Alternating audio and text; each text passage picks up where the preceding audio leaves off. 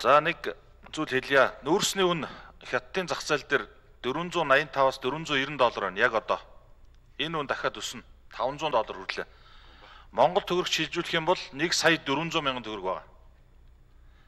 Ийм одоо түүхэн дээд одоо үн төрсөн ийм алтан боломжийн үед энэ боломжийг ашиглаад Монголынхаа ард түмэндийг хэдэн доллар олоод ир чадахгүй байгаа салбар бол үнэхээр арчаагүй байна. Сэтгэлгүй байна. Энд байгаад ахаар тэнд очиод ажиллаа бүгдээр очиод сэтгэлээ гаргаад хийж ямаар байна шүү. Тэрийг бас анхааруулж хэлье. Төрөө Наранбаатар гишүүнсэн төсвийн сангийн одоо төсөвтөр баталсан 30 хэдэн сая тонны чинь дөнгөж 8.2 сая гарцсан.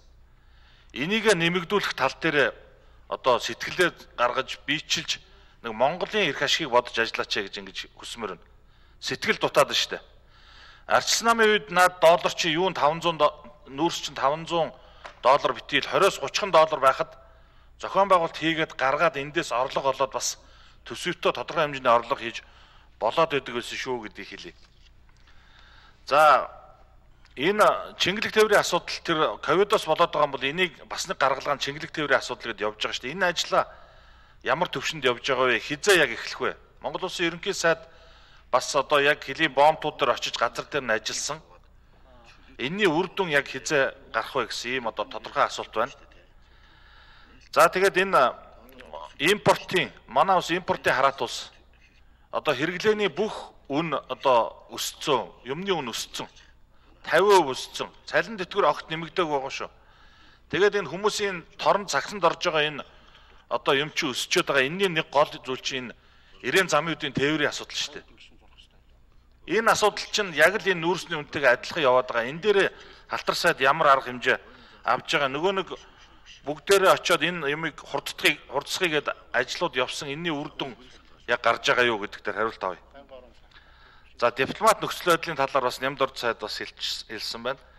За энэ төмөр замын одоо вагоноор юу машинаар ковидтай гэдэг юм бол энэ нөгөө талаа ашиглах дээр энэ замын үед ирээний төмөр замын нэвтрүүлэх хүчин чадал чи одоо ер нь байгаа юу? Хэдэн хувь байгаа юм бэ? Хэдэн сая тонн нэмэгдүүлэх юм боломж байгаа гэдгийг асууя. За тэгээ ер нь бол танай салбарын ажил дээр бол хүнд байна штэ энэ хойтлын дархны зам мам ч одоо ямар ч эрүүл хүн хэрвээ хажуугаар нь дахиад зам тавих байсан юм бол тэр хуучин замыг яах гэж хуулж хэлсэн юм бэ? 5 жил одоо энэ ард түмнийг амь нас эд материал машин тэргээр нь хохироогоод идэг. 1 минутаа шууд нэмээд авч. Хохироогоод идэг энэ асуудал төр ч гэсэн бас анхаараач. Одоо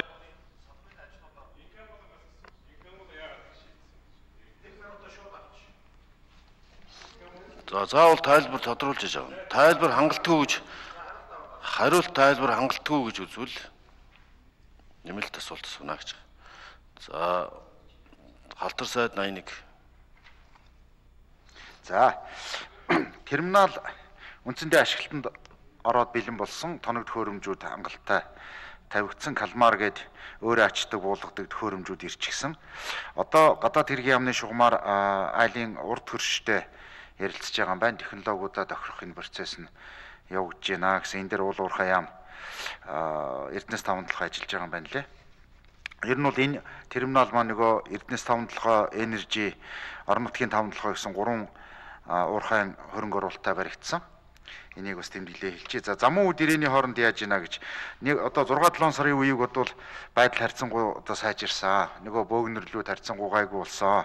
Бид нар 6 сараас эхлээд арга барагдаа одоо нөгөө олон улсынхаа конвенцийг зөрчөөд замун үд дээр Монгол вагонд шилжүүлж ачдаг ийм ажил руу ч орсон. За энэ хугацаанд өргөн царигаар 1701 вагон, нарийн царигаар 542 вагон, нийтдээ 2243 вагон урт зөвхөн зам юу ирээн дээр атсан байна. Нааш орж ирж өнөөдрийн байдлаар бол харьцангуй багассан гэдгийг дахин хэлье. Тэгвэл одоо бүр шарах сорьуугүй эдгэрсэн асуудал ерөөсөө биш. Тэгвэл зохицуулт хийгээ явж байна. Төрүүн нарам хин инх төвшин гишүүний асуултанд би бас хэлжсэн та бүхэн анзаарсан болов одоо цаашдаа Монгол жолооч нар гарахгүй а хоорондын бүс толгой сольдог буюу шилжүүлж ачдаг ийм зүйл рүү орох гэж байна. За Дархны замын хувьд 5 жил чарай биш юм а зөвхөн 2019 оноос эхлээд ингээ явагдаж байна. Тэгээд хажуугаар нь зам тавих биш. Бага замаа өргөтгөө дахиад хажуугаар нь тавиад ингээд дөрөв урсгалтай болж байгаа шүү гүшүүнэ. Энийг та бас нэг шаардлагатай үл нэмэлт мэдээллүүдийг би танд өгье. Барилгын ажил бол энэ жил зүгээр борооноос суулж хэд хоног саацсныг тооцвол сайн явж байна. Баярлалаа. За цэвэг дөржин туван гишүүн тодруулна.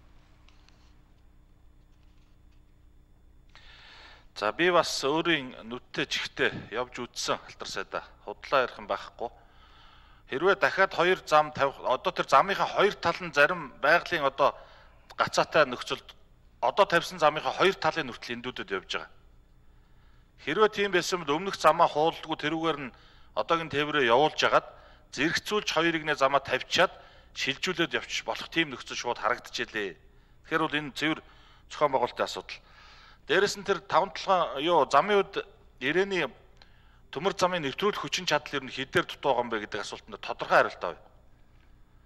А яагаад тэгэхээр энэ өмнө говоор гарч чадахгүй болоод ирэхээр тэр нөгөө урсгалаа бас нэмэгдүүлэх хэрэгтэй шүү дээ. Тэгэхээр боломж байна уу? За энэ цогцтын чойрын хооронд энэ тээвэр явж яадаг.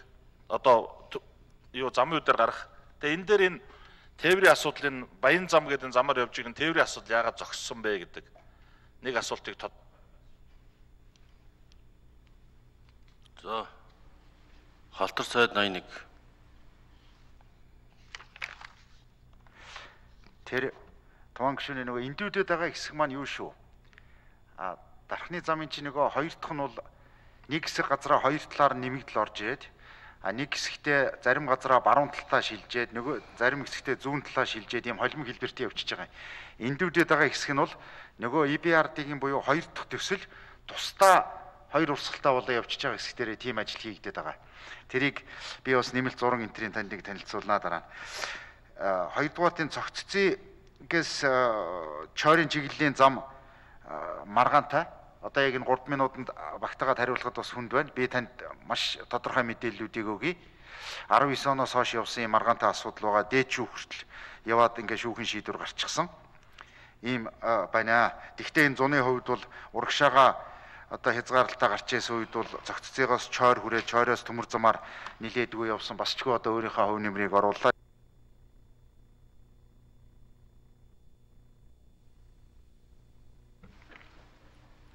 За одоо